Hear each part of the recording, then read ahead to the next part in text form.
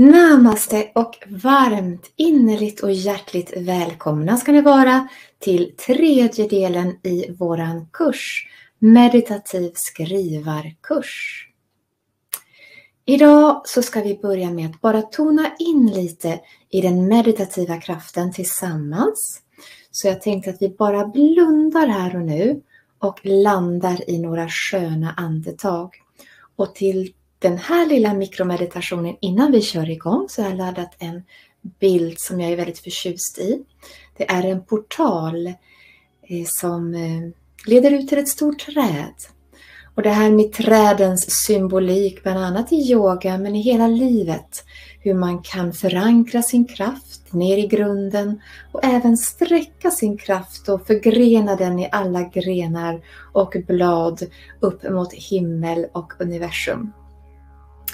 Och vid sidan av det här trädet så sitter två stycken personer och mediterar. Så att det här är på något sätt skrivandets portal.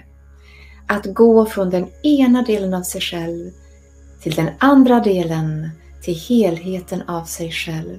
Att via meditationens kraft förankra all kraft och att ladda den i stunden som du äger just nu, då, framåt. När? När är stunden?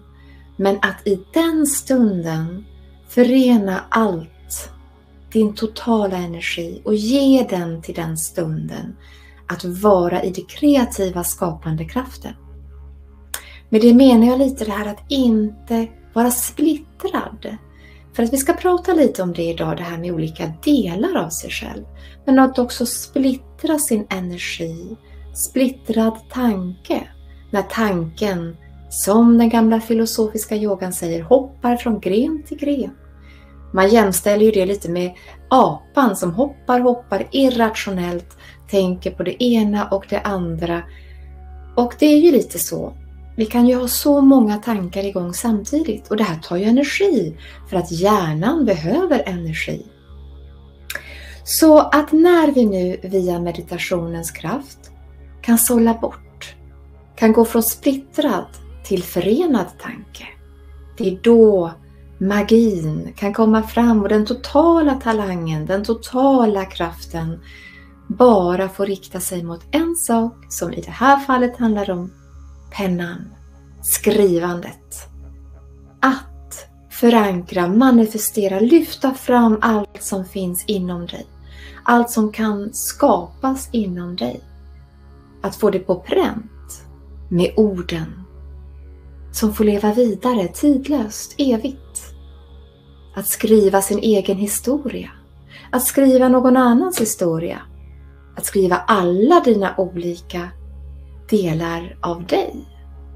Ja, kära vänner. I skrivandet gör vi tidresor.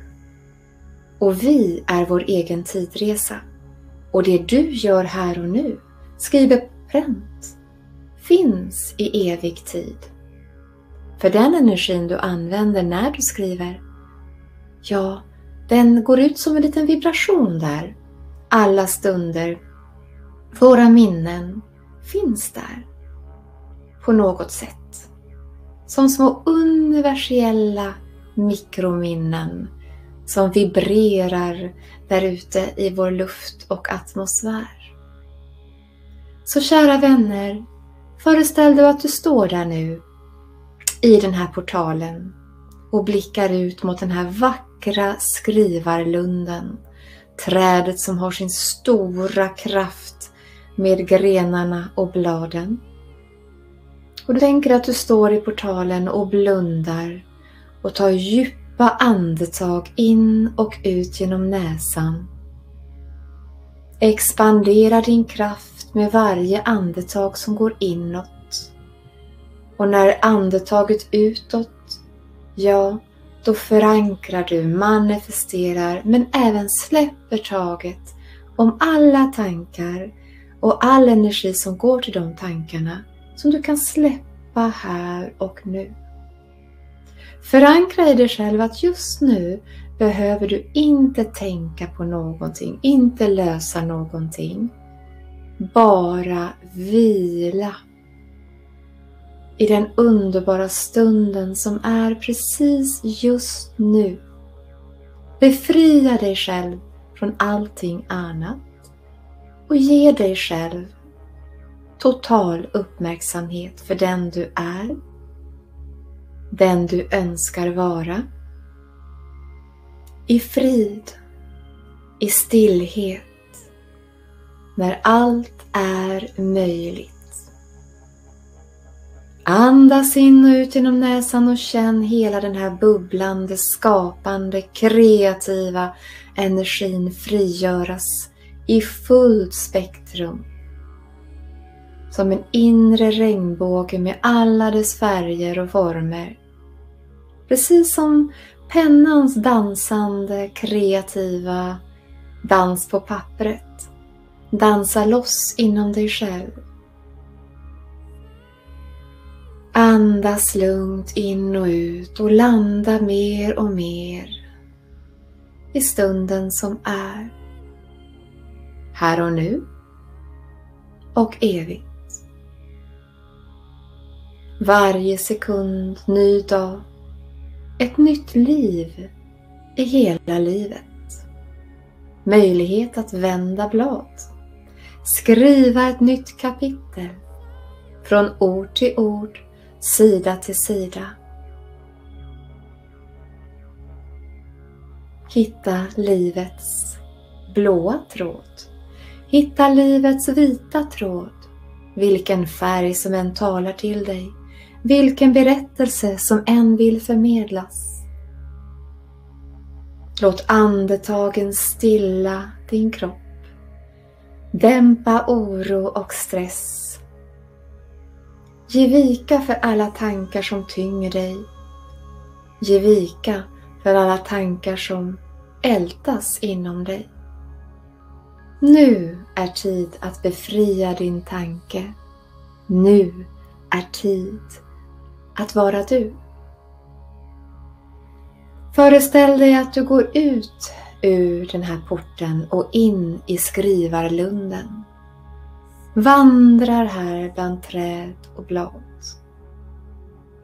Du passerar paret som sitter där och mediterar, går barfota på varm mark. Plötsligt så tittar du lite uppåt och ser att här kommer ju faktiskt ett blad dansande genom luften. Du sträcker fram en kupad hand.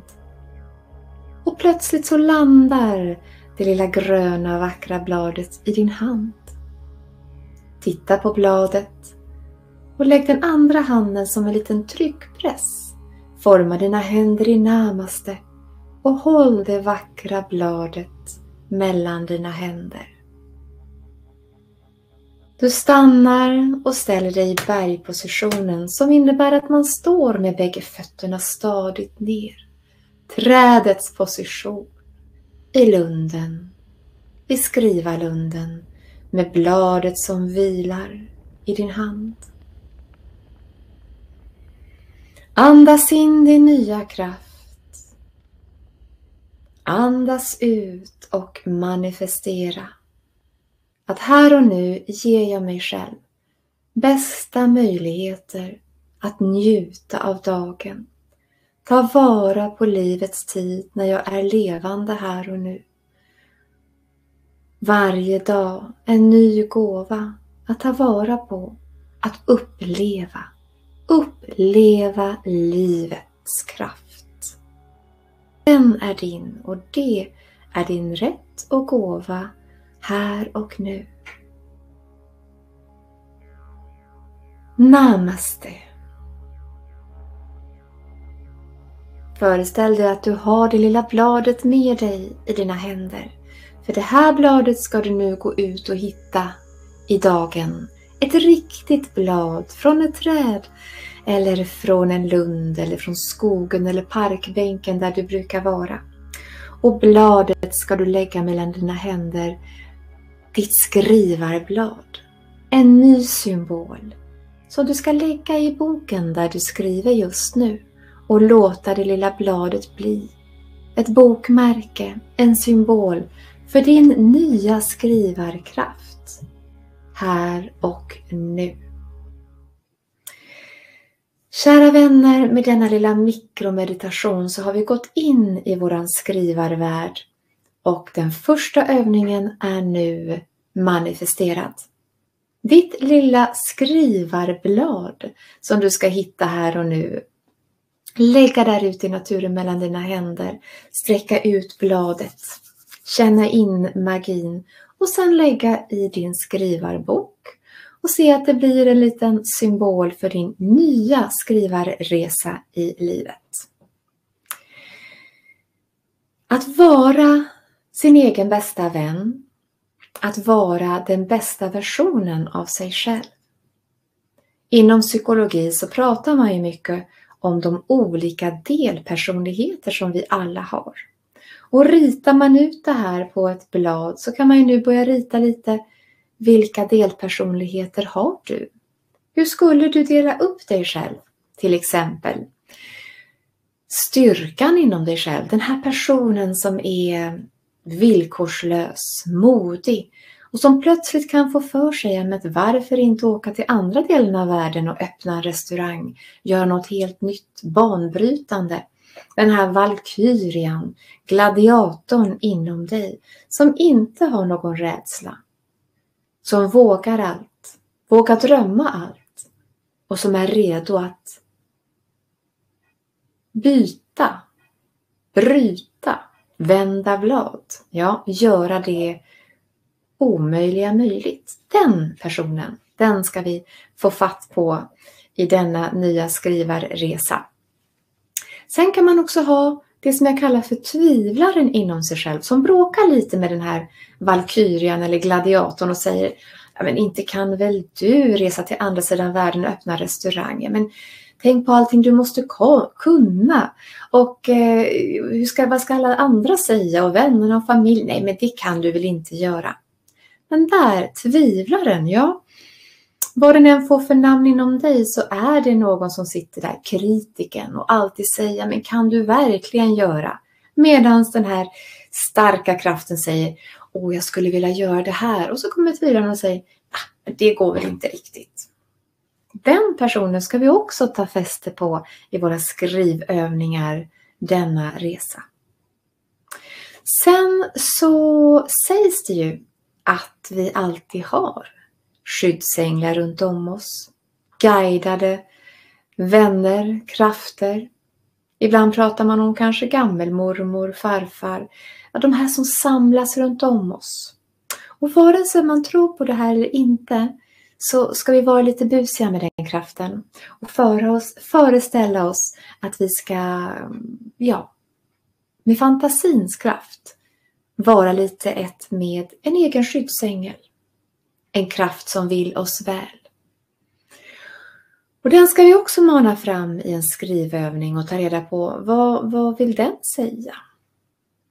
Vad, vad har den att förmedla? För din penna är din kraft och din kanal.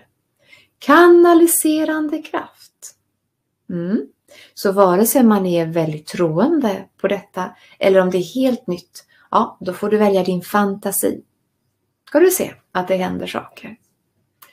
Sen ska vi också ta en fjärde delperson. Och den här ska vi också busa lite med. I många filosofier så pratar man om reinkarnation. Mm. Och reinkarnation då en resa från liv till liv. Själen går vidare och blir en ny person i en ny tid. Och om vi nu får tro och hoppas och använda vår fantasi så kan vi säga att det vore väl fantastiskt. Om det vore så. Att våran själ fick vandra vidare och bli en helt ny person. I en helt annan tid. Ja. Så den fjärde skrivövningen, det är faktiskt så att du ska med din fantasi eller med din kraft ta reda på eller connecta med en tanke på en annan del av dig som har funnits och levt i en annan tid, en reinkarnerad kraft. Den ska vi också skriva oss till. Så fyra olika delpersonligheter, och nu kan ju du välja något helt annat, men fyra berättelser att skriva utifrån de här krafterna. Och att göra en guidad meditation för att tona in innan du börjar att skriva. Sen ska vi också skriva tre guidade meditationer som du kan dela med dig av till dina vänner. För nu har du jobbat lite med det här och provat olika guidade meditationer. Så nu är det dags att tänka hur kan jag förmedla och skriva en meditation som du även kan läsa in med din röst. Till exempel med mobiltelefonen eller ja, koppla upp det på ett eller annat sätt. Och sen läser du in den meditationen som du har skrivit och kanske delar i dina sociala nätverk. Och en av de här meditationerna vill jag att du mejlar till mig på annette.lefterov.com så ska jag ge dig en liten feedback på den. Så det är kan man säga fem olika skrivövningar denna gång som består av fyra enskilda och en där du har tre meditationer att skriva. Så om vi plussar på det så blir det fyra plus tre. Så mina kära vänner så ska vi också bara memorera dem där. Så jag ska starta lite bilder så att vi kan memorera de här skrivövningarna. Vi är tillbaka i skrivarlunden och vi har mediterat. Meditationens kraft blir bara bättre och bättre gång för gång. Ju mera och ju oftare du går in i den här lilla medita meditativa kraftstället inom dig, desto mer känner du igen den här platsen, desto snabbare går det att få de positiva reaktionerna i kroppen som vi behöver. Ett lugnt hjärtslag. Befriad från stress. Förankrad i verkligheten. Meditation gör gott. Så det är som sagt bara att meditera mera.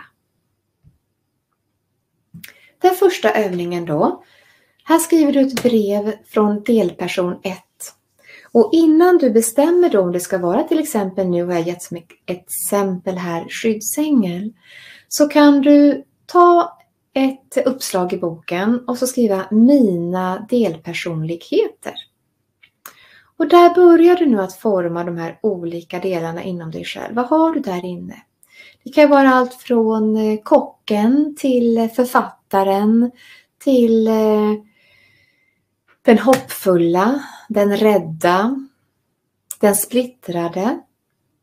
Kanske finns det ett litet brustet hjärta någonstans där inne kan ju också vara en liten figur. Så ta gärna och rita små seriefigurer och ge namn. Då kan du ge ett namn till exempel eh, ja, vad det kan vara, ett smeknamn som att jag skulle då till exempel, jag heter ju Annette, så skulle jag säga min mormor, hon kallade mig för Netteplätten för att jag älskade att göra pannkakor och jag gjorde pannkakor hela tiden och varje torsdag med henne givetvis. Och jag gjorde pannkakstårta på dagis och bjöd på. Så då blev jag kallad för Nätteplätten även där. Och då skulle jag ju välja att till exempel en person som vi alltid har inom oss, det är ju barnet inom oss.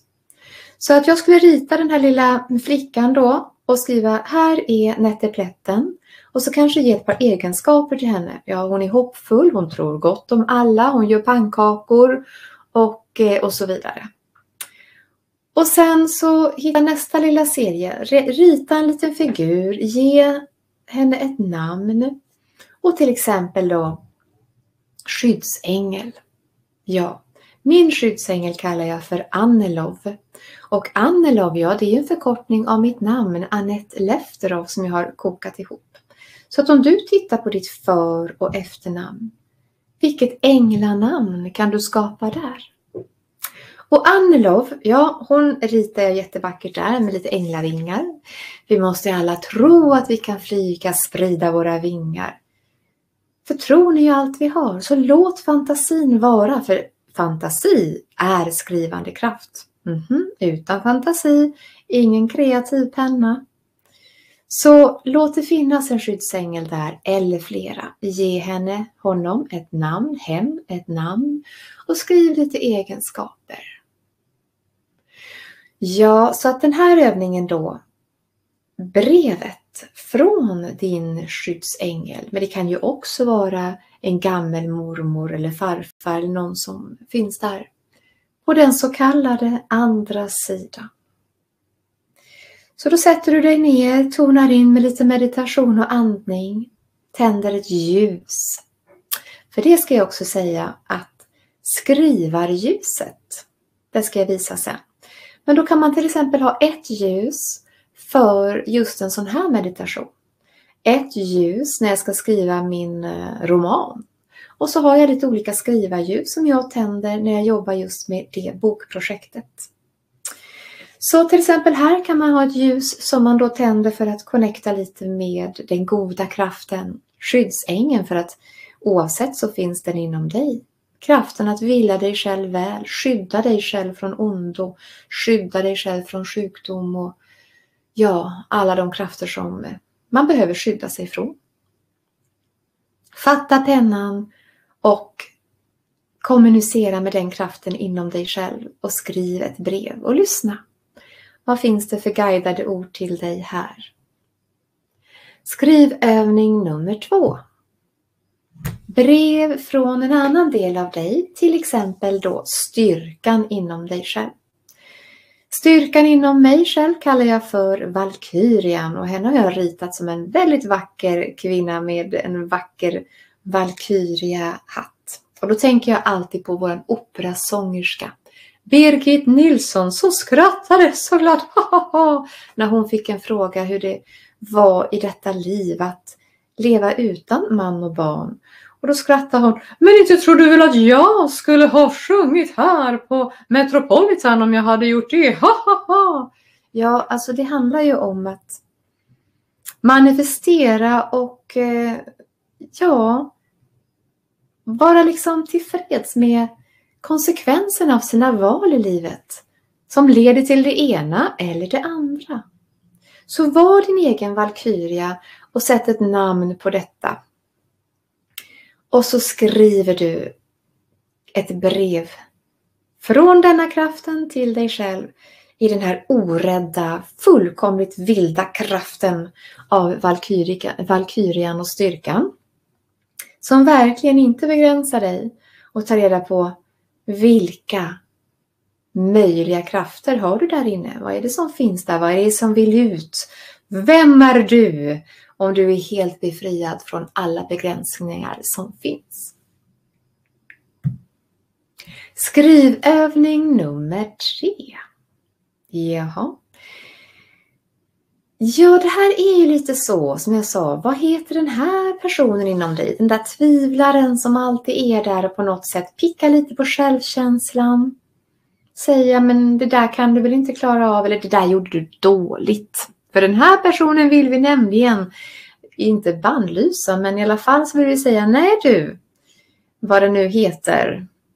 Den här, nu ska du ta och skärpa dig och bli stark. Men först, för att kunna förändra den här processen så behöver du ju veta lite vad är det där som hon egentligen vill säga, han eller hen.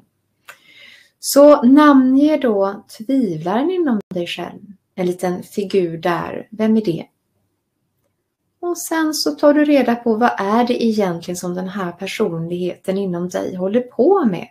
Vad är det för upprepade mönster som kommer till dig när du är lite i de här deppiga dagarna. För att den här personen dyker upp i de deppiga dagarna. När den här berg och dalbanan är i dalen, ja då kommer den här personen fram mer och mer.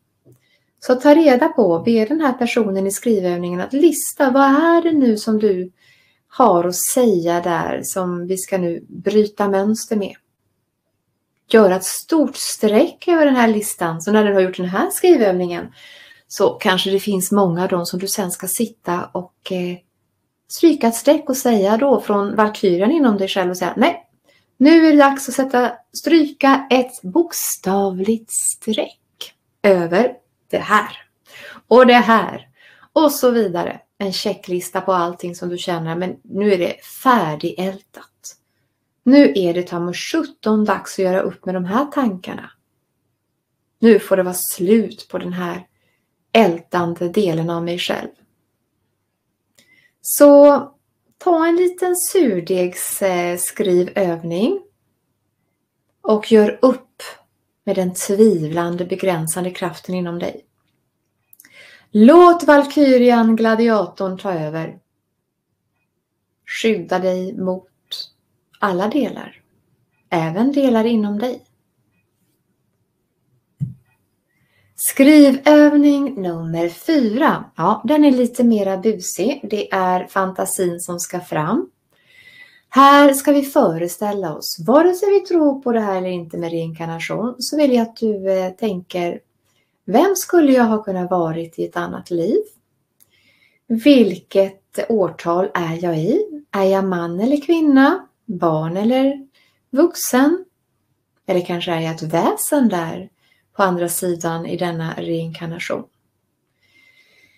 Ja, så att gör en liten tidplan, precis som att du ska skriva en bok. Skriv staden, tiden, beskriv dig själv innan du börjar skriva. Så manifestera först, vad heter du? Hur ser du ut? Har du blåa, bruna ögon, lång eller eh, ja, i allt det här beskrivande, beskrivande. Sen tonar du in och ber den här reinkarnerade kraften att berätta för dig vem du var i det livet där och då. Öppna portalen mellan det du inte minns och låt fantasin och kraften inom dig öppna en liten gång, en tidsgång. Där du här och nu idag står, tittar igenom gången och ser att där öppnar sig en dörr i slutet av den här gången och där står du i den reinkarnerade versionen. Den karaktären, den rollen. Vem vet? Här kanske du hittar en rollkaraktär till en ny bok att skriva om. Skrivande processen här och nu i den här kursen kanske leder till att du har tio olika öppna dörrar, portaler till böcker, till skrivarövningar och oavsett det är för att meditera och må bättre och skriva. Eller om du plötsligt skriver en hel bok på en hel sommar. Kanske är det just nu i sommar, i hösten, i vintern, i våren, oavsett på vilken årstid vi nu är i. Så kanske är det här och nu, den här säsongen, det här året som du skriver böckerna i ditt liv. Att den kraften finns inom dig, det tvivlar jag inte på. Annars hade du inte valt den här kursen. Så författaren inom dig, ta nu ett möte med en reinkarnerad själ inom dig. Den du har varit en gång i en annan tid. Använd din fantasi och skriv. Den här övningen kan nog ta lite mera tid så att eh, låt den liksom vila. Skriv lite här och då Ta med dig boken, sätt dig på parkbänken, gå in i meditationen. Ta alltid, säg fem minuter meditation innan du börjar skriva. För det finns alltid lite som måste rensas ut. Mobiltelefonen måste stängas av, notiserna, Facebook, Instagram, allt det här som du är uppkopplad i. Att landa och bara känna nej, nu är jag författaren inom mig. Så andas, släpp taget, fatta pennan, känn pennan plus ditt nya skrivarlöv, det lilla vackra bladet som nu ska få ligga i boken. Och skriv. Och gå tillbaka till de olika övningarna. Att skriva det innebär att man inte får sätta press eller stress på sig. För då leder det till skrivkramp. Och det ska vi inte ha, för det här är ju något härligt och roligt och inspirerande. Och ni kanske har märkt i media när ni är ute och surfar att det blir mer och mera fokus på att skriva sin egen bok och skriva sitt eget liv. Så att hela världen skriver just nu. Och sen kommer vi då till övning nummer fem. Du ska skriva tre guidade meditationer. Den första, då ska du tänka på att de som läser eller lyssnar på din meditation de behöver dämpa oro, stress, panikångest.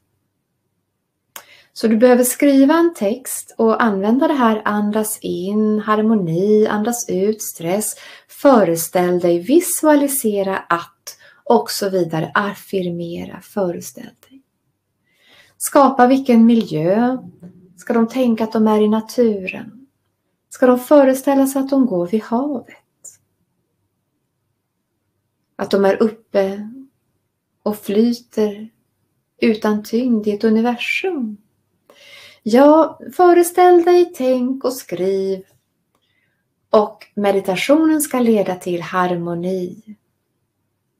Den andra meditationen som du ska skriva, den ska leda till mental styrka. Här behöver de få andas in ny kraft och energi och självförtroende och tillit.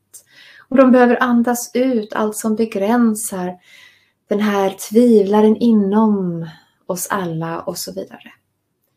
Så här behöver du också tänka, vilken miljö vill du spegla upp och leda dem, guida dina följare till för att de ska känna mental kraft? Är det uppe på en bergstopp? Där man kan sträcka ut armarna och bara bli ett med himmel och universum. Vilka miljöer och känslor leder dig till att känna mental styrka? Hur kan du vägleda dig själv och andra till att bli stark mentalt? Och den tredje övningen, den ska leda till att man sover bättre.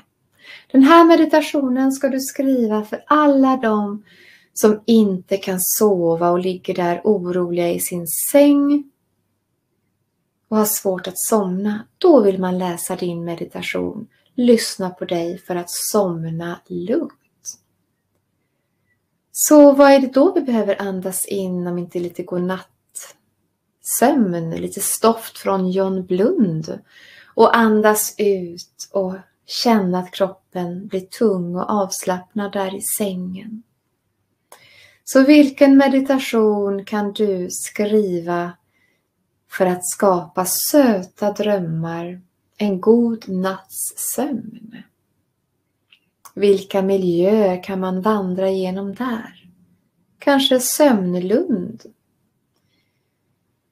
Kanske en månmeditation under en fullmåne? Kanske står sängen mitt på sanden ute på stranden och man somnar under stjärnklar himmel. Genom att du går in i meditativa kraften kommer du att kunna skriva meditationerna. Sudda ut lite här, skriv till lite där och börja om. Läs för dig själv, gå in i meditationen och fullborda meditationen tre guidade meditationer till denna del av kursen. När du är klar eller även halvklar, ja då mejlar du till mig på anette.leftero.com så läser jag igenom din meditation och återkommer med lite tankar och reflektion tillbaka till dig. Får du lite feedback av mig på kursens gång. Och sen så kan du alltid välja att dela dem just i skrivande formatet. För att skriva och läsa en meditation är jättevackert. Eller så kan du också läsa in dem med din röst. En liten inspiration kommer här med denna bild. Det är en bild som är jättestor på en jättestor eh, planta. Och när jag zoomade in bilden så såg jag, men där satt ju en liten fluga. Vingarna. I det lilla finns det stora och det tycker jag är så vackert. Så man vet aldrig vad man hittar inom sig själv. Men om man inte tar tiden, om man inte gör ett möte med sig själv, vågar se i det lilla för att hitta det stora, så gömmer sig en massa skatter där innan, innanför. Ja, så det är som att spela på ett piano. Musiken som bara du kan höra. Den finns i dina ord. Din skrift är en symfoni och du är både kompositör, dirigent, du är även alla instrument. Och jag tror jag kan verkligen säga med fullkomlig övertygelse att när man skriver och mediterar, den här föreningen som jag pratar om, ja, då är man på något sätt där är det så kallade nirvana. Befriad, öppen, optimerad kraft. Om jag kunde visa er min egen skrivarlund, det universum som jag färdas i när jag skriver mina böcker, mina meditationer. Jag kan bara säga att det är så vackert. Och när jag är där och checkar in och när jag kommer tillbaka och checkar ut och går ut i det vanliga livet, om man nu ska kalla det för så, så har jag liksom en total bliss, en känsla av harmoni, styrka, kraft och eh, som att allt är möjligt. Som att allting finns. Och den kraften som är mest stark och närvarande, det är kärleken. Havet inom oss, havet runt om oss, det vatten vi är och alltid kommer vara, brusande vågorna. De kan vi känna i meditationens kraft. Så andas in och alltid föreställ dig vågen som drar ut mot havet. För den, liksom, den, den samlar kraften och när du andas ut då känner du kraften slå in stranden, havet bara liksom bräker loss. Det här havet inom dig. Låt det vagga dig till ro i in och utandning. Och ljuset. Det är också någonting. Vi har två symboler som vi adderar lite idag. Det är bladet som du nu ska gå ut och hitta i skogen. Ditt magiska skrivarblad väntar på dig. Sen är det ofta det här och sen också ljusen då. Att skriva med ljus och välja ljus beroende på vilket skrivarprojekt du håller på med. Tänd ljuset. För man säger ju att när man tänder ljuset då kan änglarna komma. När man tänder ljuset då kan du verkligen koppla upp dig mot dig själv, ditt högre jag. Som jag sa i början, när du släpper taget om allt som oroar dig, alla dina tankar, då får du all din kraft till det som är här och nu. När du ska skriva, när du ska meditera. Då samlar du kraften och då kan magin komma i överflöd. En sista bild som jag förmedlar här och nu idag innan det är dags för er alla att fatta era pennor, ja, det är ändå den här horisonten. Ett streck mellan himmel och hav som inte finns men ändå syns. Seeing is believing. Att se är att tro. Och när du blundar, ja, då kan du ju se det som är viktigt. Tänk på dina drömmar. Vilka fantastiska filmer det egentligen är. Och ibland flera serier på en natt. Vi drömmer om möten. Vi hör konversationer. Vi är på andra platser. Vi är en och samma person och många olika personer. Så vad är väl drömmar? Om inte en annan del av oss själva. Och den upplever vi ju när vi är i ett sömntillstånd. Jag har också ett webbinar som är en sömnskola.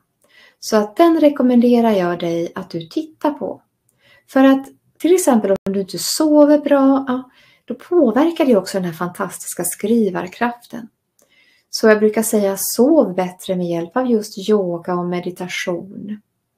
Och i den delen av min wellness finns det också guidade meditationer. En heter Mitt i natten, en heter Sov bättre och en heter Godnatt. Så inför de här skrivövningarna som du ska göra så kan du också lyssna på dem för lite inspiration. Och de finns på min Youtube-kanal som heter Annette Lefterov. Där finns det en hel spellista som heter Godnatt Wellness. Så där finns det både tre pass med lite övningar och meditation som du kan göra i sängen. Och sen lite meditationer. Som inspiration till din egen godnattvärld. Så det här strecket mellan himmel och hav kan vara som din penna som skriver en ny rad. Från natt till dag, från dag till natt. Från ljus till mörker, från mörker till gryning till ljus. Den eviga resan och processen fortsätter. Från säsong till säsong, från år till år. Och just nu en ny dag. En ny dag för dig att vara du. Den fullkomliga versionen av dig. När du är befriad från stress, begränsning, negativa tankar. När du får vara du. Så som du var född och menad att vara. Så låt nu den skrivande kraften ta fart. Var din egen bästa författare. Skriv dig till mer harmoni.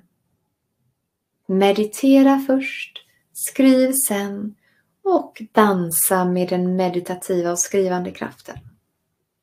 Förutom bladet då så visar jag att här är ett av mina skrivarljus. Ett doftljus. Den här har jag köpt i butiken Rituals. Och eh, de har ju alltid lite sådana ord som blänker till lite. Och det här ska vi se. It is not happy people who are thankful. It is thankful people who are happy. Och kom ihåg nu gratitude. Count your blessings.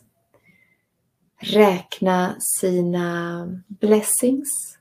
Så att det är också en fin meditation att göra. Att säga jag är tacksam för att. Gör det som en skrivövning. Skriv det högst upp på, på det nya bladet. Jag är tacksam för att. Och så fyller du på allting som du här och nu idag är tacksam för. Och så ska du se att det kommer en energi och kraft som är underbar inifrån. Ungefär som att du har fått en kram av dig själv. Skrivarljuset. Den här skrivarljuset är med mig i den boken som jag skriver just nu.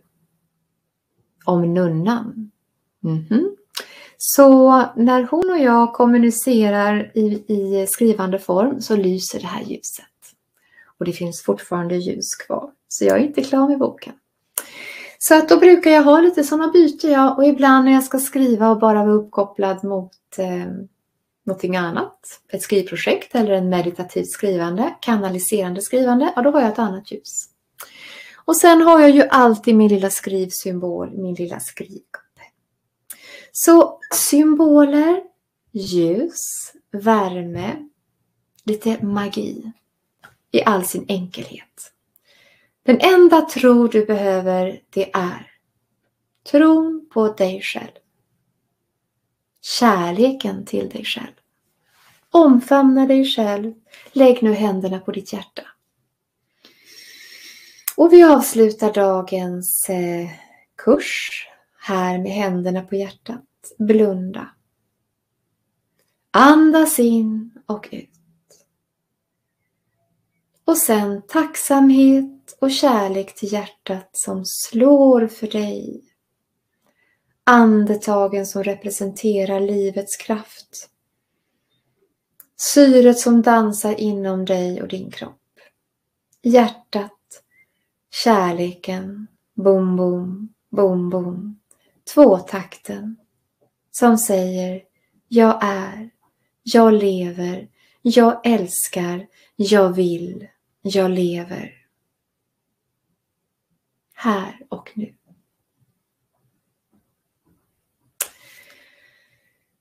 Kära skrivarvänner. Tack för att ni har varit med idag och nu är det dags för dig att fortsätta in i din skrivande kraft. Skriv om styrkan, vad heter den delen av dig? Skriv om den lilla tvivlaren, din skyddsängel. Vem är den där reinkarnerade delen av dig? Guidade meditationer som gör gott för vänner och nära och kära och givetvis framförallt dig själv. Gå nu ut och hitta det magiska bladet. Sister dig, ta dagen med harmoni. Så ses vi snart igen på återseende. Namaste.